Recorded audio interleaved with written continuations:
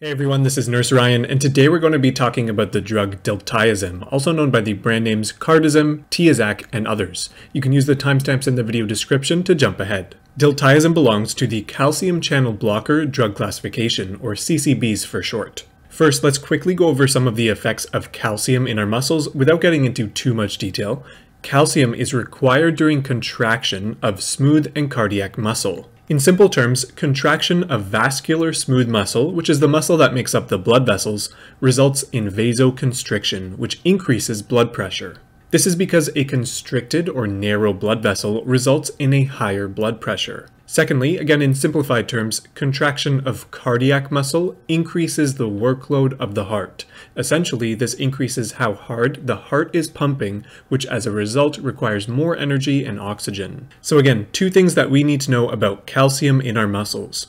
First, it increases blood pressure, and second, it increases the workload of our heart which makes it require more energy and oxygen. Now, diltiazem works by blocking calcium channels in these smooth and cardiac muscles, preventing calcium from entering the cells. And without as much calcium in our vascular smooth muscle, we now get less vascular contraction. This means that the blood vessels relax or open up, also called vasodilation, which helps to lower blood pressure. With less contraction of cardiac muscle cells, we get a decrease in the workload of the heart, making it easier for the heart to pump. So why would we want to reduce blood pressure or reduce the workload of the heart? Well, diltiazem can be taken orally for the treatment of hypertension or elevated blood pressure and for angina, which benefits from a reduced workload of the heart. It can also be taken intravenously for atrial fibrillation and atrial flutter.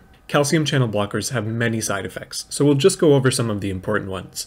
Many of the side effects of calcium channel blockers stem from their effect of vasodilation. Vasodilation can cause hypotension, which may manifest as dizziness, weakness, headaches, syncope, which is a loss of consciousness due to low BP, orthostatic hypotension, and more. Calcium channel blockers may also cause dysrhythmias and heart palpitations due to their effect on cardiac muscle. Just some of the other side effects include bradycardia or low heart rate, weight gain and edema, sleep disturbances, and more.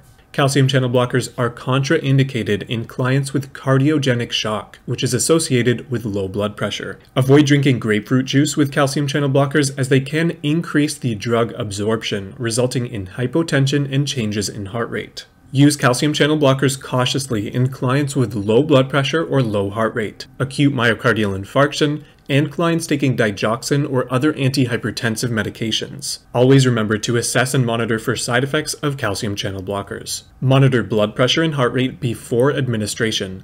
Typically, if systolic blood pressure is less than 90 or if apical heart rate is less than 60 beats per minute, hold the medication and notify the provider. Especially for elderly clients, instruct clients to avoid rapid changes in positions, such as changing from sitting to standing, to reduce the risk of orthostatic hypotension and falls. If sublingual nitroglycerin is ordered and available, it is the preferred treatment option for acute angina chest pain. As with most all antihypertensive medications, it is important not to discontinue calcium channel blockers abruptly and to instead gradually taper the dose according to the provider's instructions to reduce the risk of a hypertensive crisis. And lastly, do not crush extended release tablets. And that's about it for the basics of diltiazem. If this video has helped you out, please consider leaving a like and subscribe. I would really appreciate it. If you have any questions or would like me to review a specific drug or topic, Please let me know in the comments, and thanks for watching.